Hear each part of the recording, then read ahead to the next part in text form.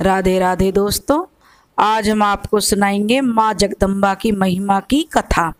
अगर आपको हमारी कथा पसंद आए तो प्लीज़ हमारे चैनल अपनी संस्कृति को लाइक करें, सब्सक्राइब करें और शेयर करें। नवरात्रि व्रत कथा के अनुसार, एक समय बृहस्पति जी ने ब्रह्मा जी के समक्ष चैत्र व अश्विन मास के शुक्ल पक्ष में पड़ने वाले नवरात्र का महत्व जानने की इच्छा जताई। उन्होंने कहा कि इस व्रत का क्या फल है और इसे किस प्रकार किया जाता है? सबसे पहले इस व्रत को किसने किया? यह सब विस्तार से कहिए। प्रश्नों का जवाब देते हुए ब्रह्मा जी ने कहा, हे बृहस्पति, प्राणियों के हित की इच्छा से तुमने बहुत अच्छा प्रश्न किया है। जो इंसान मनोरथ पूर्ण करने वाली माँ दुर्गा, महादेव, सूर्य और नारायण का ध्यान करता है। वे धन्य है। यह नवरात्र व्रत संपूर्ण कामनाओं को पूर्ण करने वाला है। इस व्रत को करने से पुत्र सुख, धन, विद्या और सुख मिलता है। इस व्रत के करने से रोग दूर हो जाता है। घर में समृद्धि की वृद्धि होती है। बंध्या को पुत्र प्राप्त होता है। समस्त पापों से छुटकारा मिल जाता है। जो मनुष्य इस व्रत का, व्रत को नहीं करता वह अनेक दुखों को भोगता है।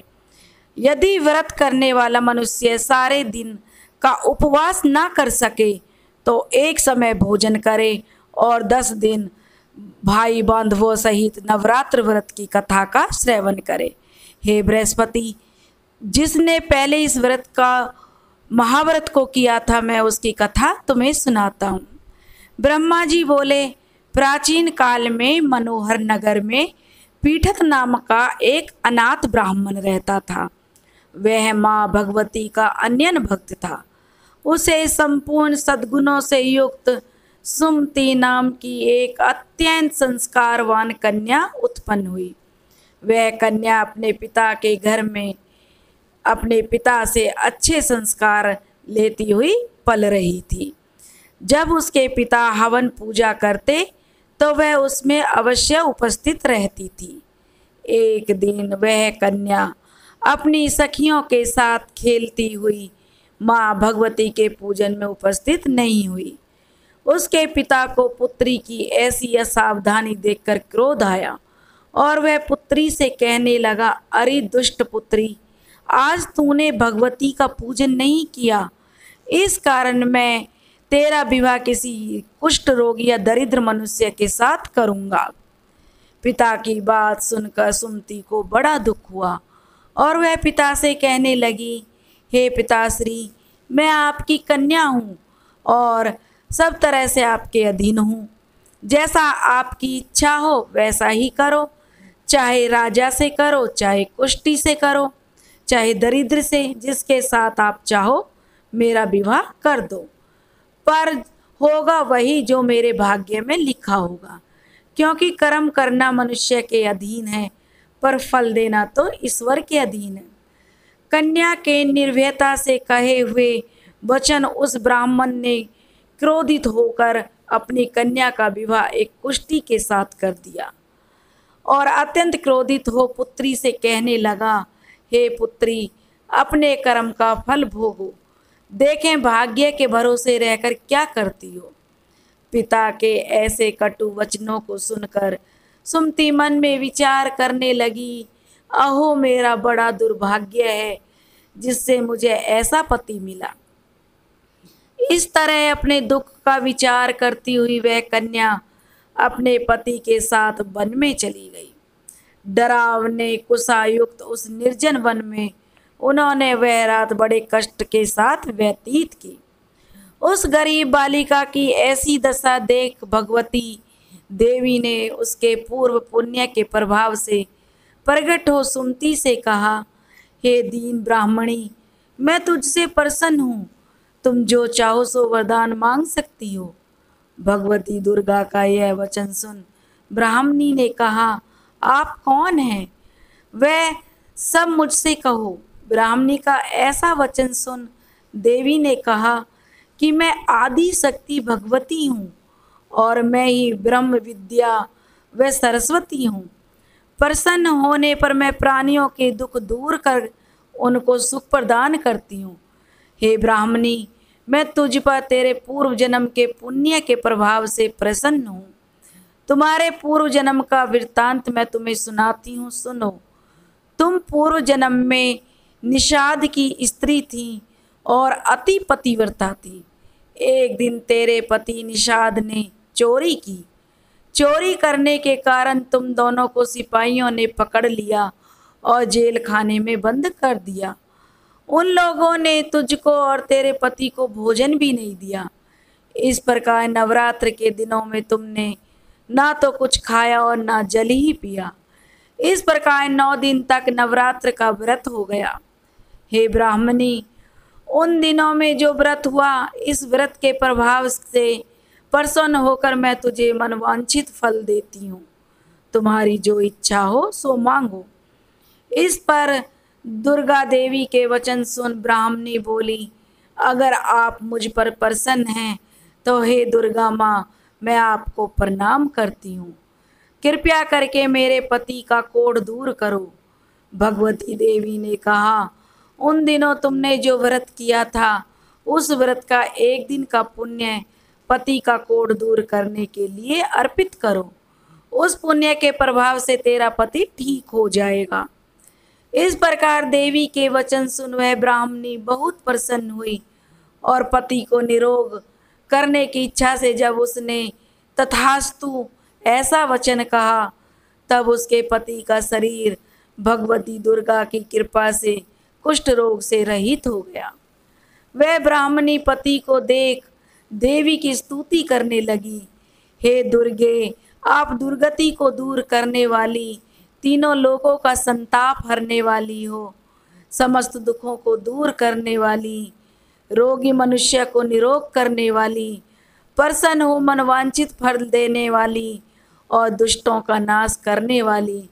हे जगत की माता, हे अम्बे मुझ निरपराध अबला को मेरे पिता ने कुष्टि मनुष्य के साथ विवाह कर घर से निकाल दिया।